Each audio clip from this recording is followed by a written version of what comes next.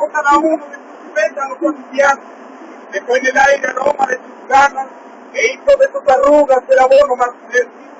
Después vinieron las plagas para armar su nombre. Desde entonces ya no pude llamarse madre, un árbol ciego sin que tu ausencia, con manos de raíces vagabundas, palpó entre la oscura tierra para encontrarse, pero como buen peregrino de la muerte, solo halló los secos de la de Salador de belleza y tratar, arráncame las piernas sin colocar, ponme con el filo que mató a mi madre, apunta tus piedras con las piernas abiertas para que de allí nazca la muerte. Padre, tomemos la mano del extraño para encontrarnos en sus huellas dactilares, ignorando de líneas de límites de un laberinto. Hagamos que los orbes se sacudan hasta encontrarnos en penumbras, que el viento lleve polen de cenizas para atascar la boca y cerrar los párpados de quien se mira en el infierno.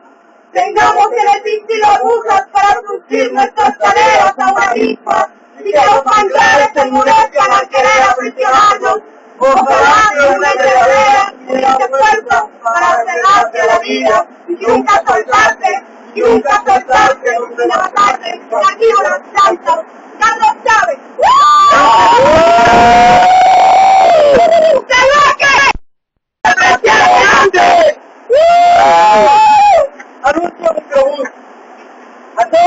ha sorprendido leyendo poemas, se encontrarse será deportada a las autoridades.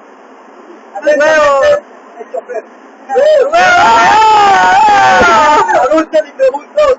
A las personas que informen sobre lecturas de poesía en voz baja o en silencio a bordo de esta unidad, se gratificará económicamente. La lectura en voz baja es un delito y debe combatirse.